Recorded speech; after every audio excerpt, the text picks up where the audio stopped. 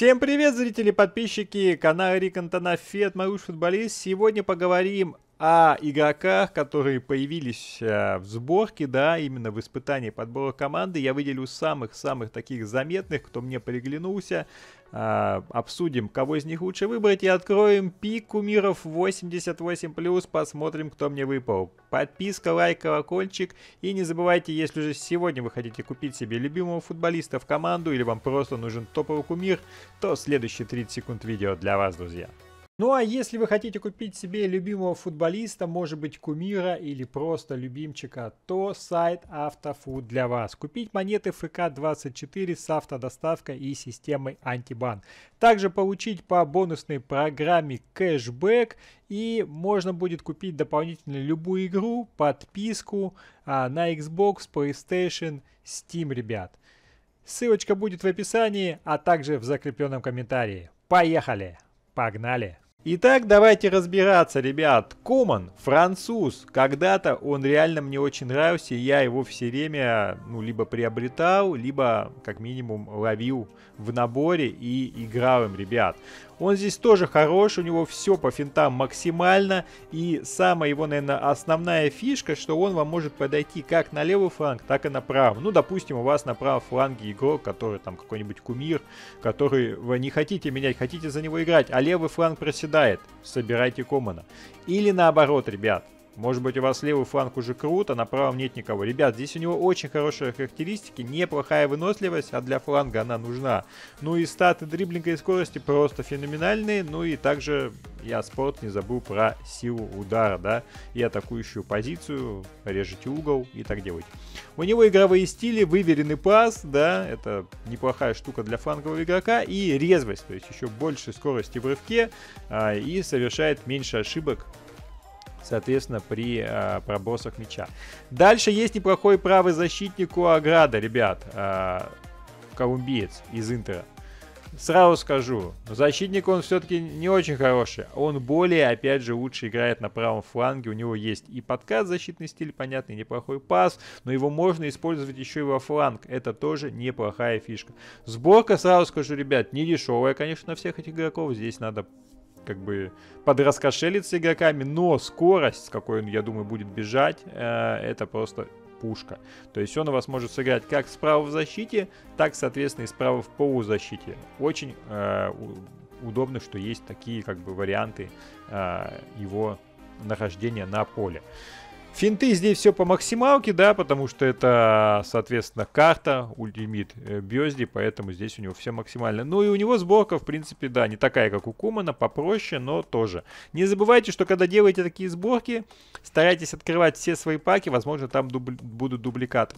Ну и вышел, наверное, один из любимых моих игроков э, ФК-24, уж больно он мне приглянулся как-то изначально своей скоростью, как-то у меня получалось за него и решать, за обычную его карту, по сути, да, там не какую-то топовую. Это Апенда, ребят, бельгийцы из Лейпцига, из Бундеслиги. Здесь есть несколько вариантов, они ничем не отличаются, отличаются только финтами, ребят. Честно, я не финтер, больше обвожу стиком, в игре финтов я делаю мало, только еще совсем переигрываю соперника или играю в каком-нибудь сквад-батле. Но Апенда, он просто для меня какой-то читерский игрок, и поэтому, ребят, я честно скажу, я собирать его не буду, потому что у меня сейчас уже есть а, кем играть в нападении, на замене куча игроков. Но если вы только начинаете фифу, соберите. Мне кажется, FIFA его немножко заскриптовала. У него мощная игра головой, хотя я головой а, ну, им практически не играю, но у него прыжки 98, ребят.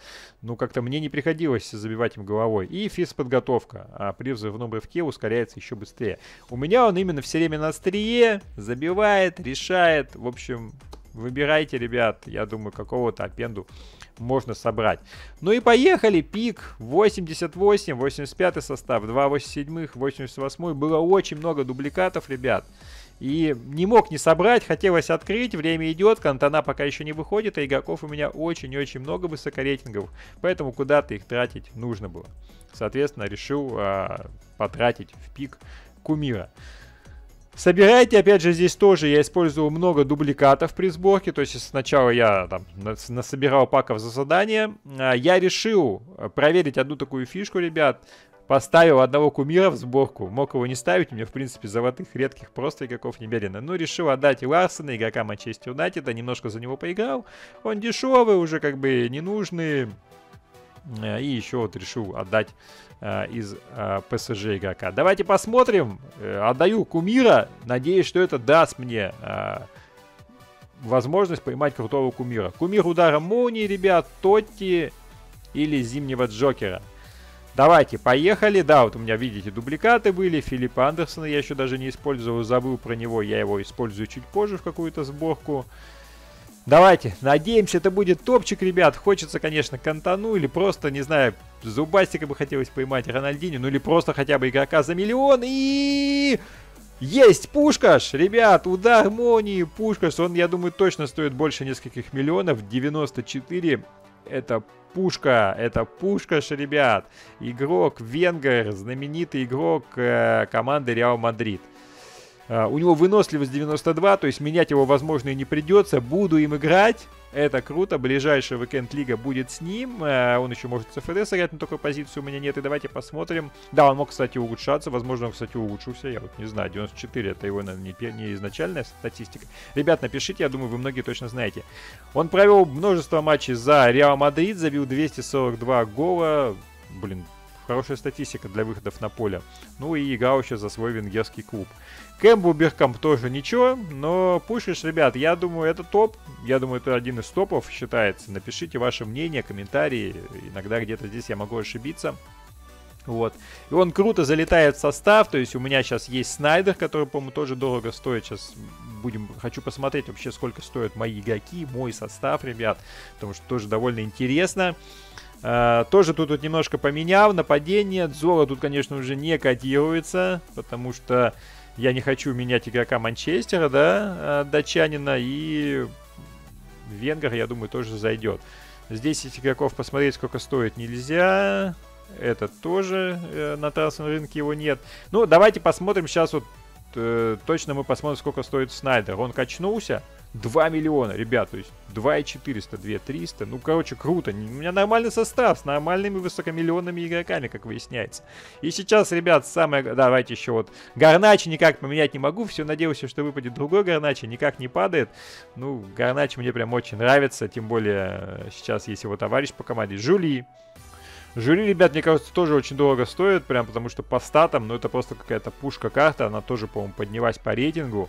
А, Best как бы не меняется этого игрока. Я вот недавно получу в задание, да, я думаю, вы все это задание выполняли. Варана я качну, качну. Статы у него не сильно поднялись, я про это уже говорю. Ну и пушкаш, ребят.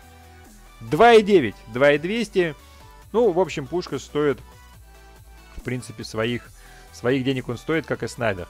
Ну что, ребят, лайк, подписка, колокольчик. Любите футбол, играйте в ФК-24. До встречи на канале. Хорошего дня или вечера, где бы вы ни находились. Всем пока. Удачи.